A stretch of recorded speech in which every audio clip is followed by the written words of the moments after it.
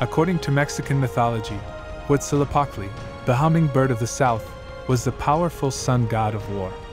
It is said that this sinister god was born unexpectedly, and his power was so great that he managed to destroy hundreds of enemies as a newborn.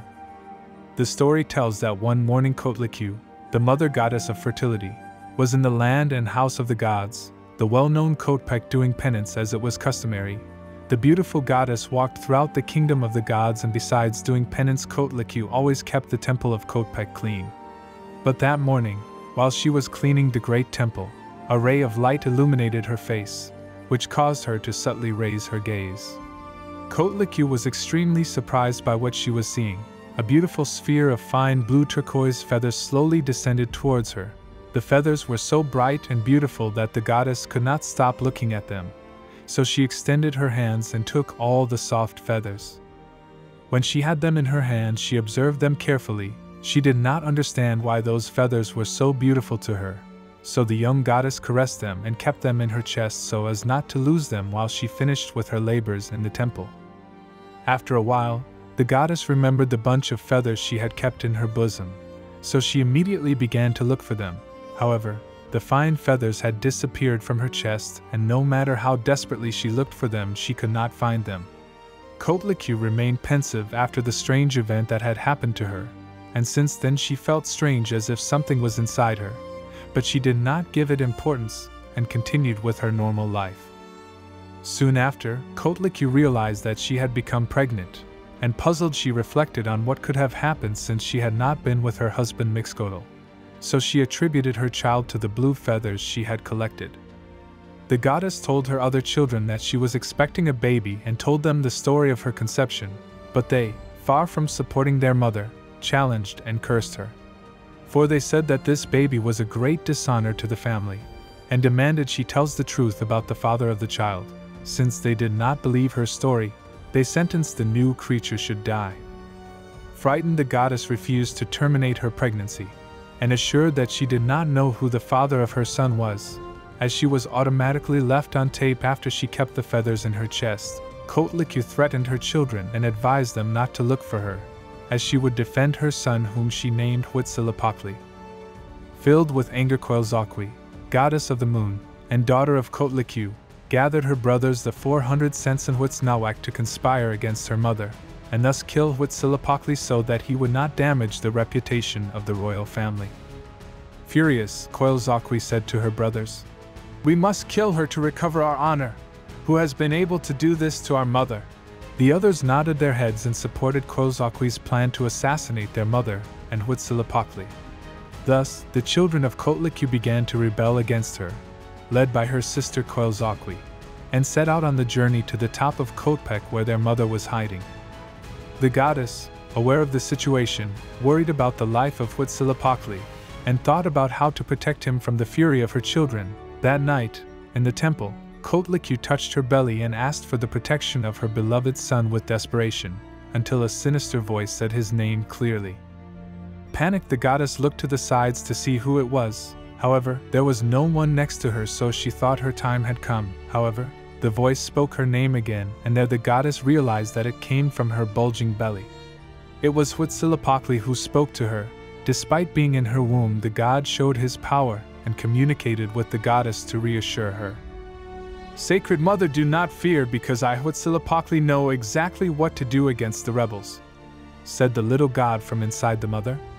Coatlicue, bewildered, remained silent for a few seconds until she felt peace in her heart the words of her son had comforted her, and for some strange reason she felt safe and protected.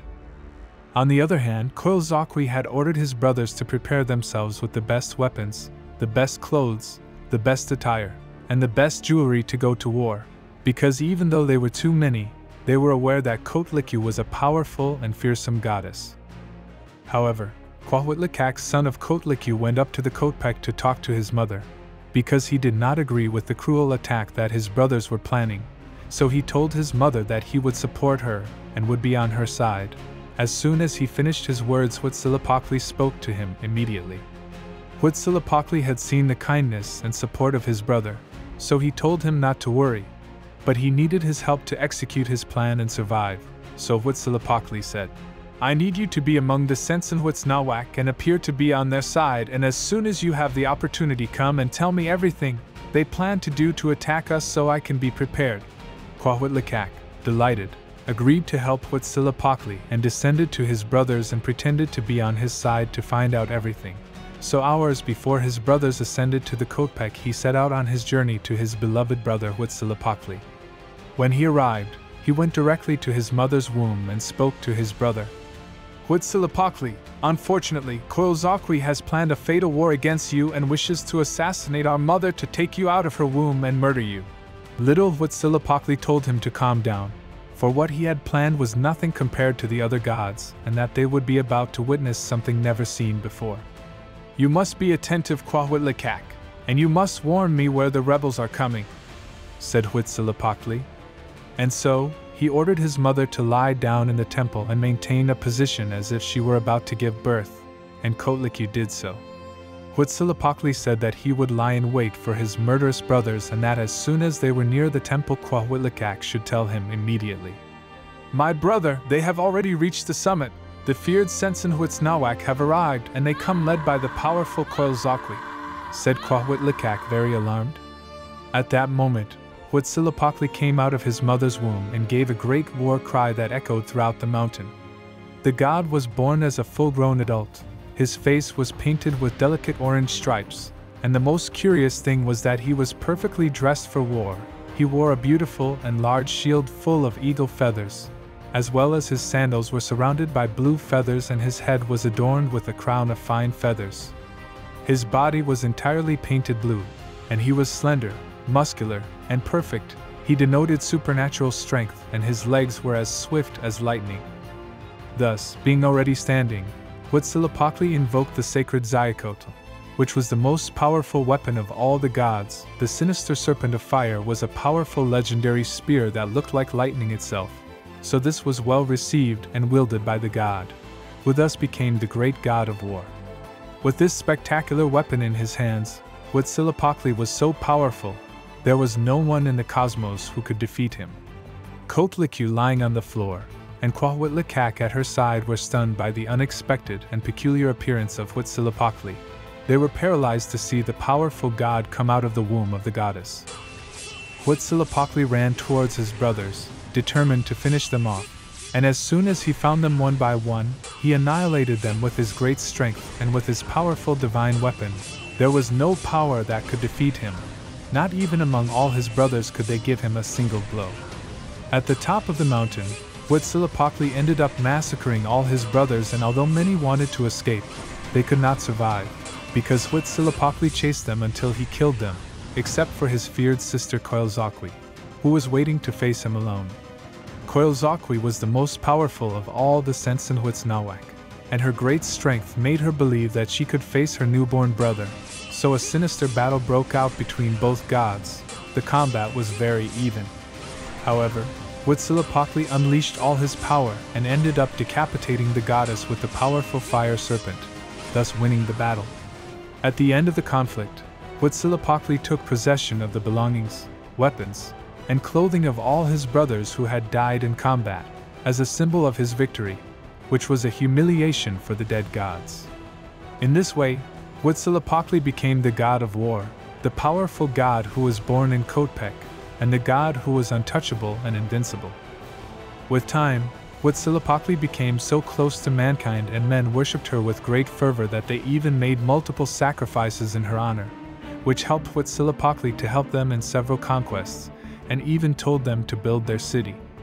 According to the myth, it is narrated that Huitzilopochtli was the one who told the Mexica to build the great Tenochtitlan, since after a great offering given to the god, he communicated with them and told them, Go and find the place where you will build your destiny.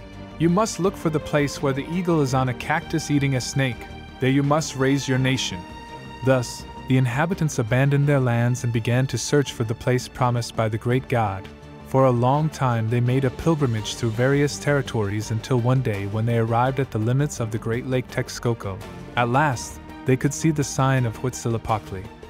They beheld an enormous eagle flapping its great wings with a serpent in its beak flapping on a great nopal cactus, on a rock in the middle of the immense lake. At the sight of the eagle, they all shouted for joy and celebrated that they would finally build their empire as great as the god had predicted.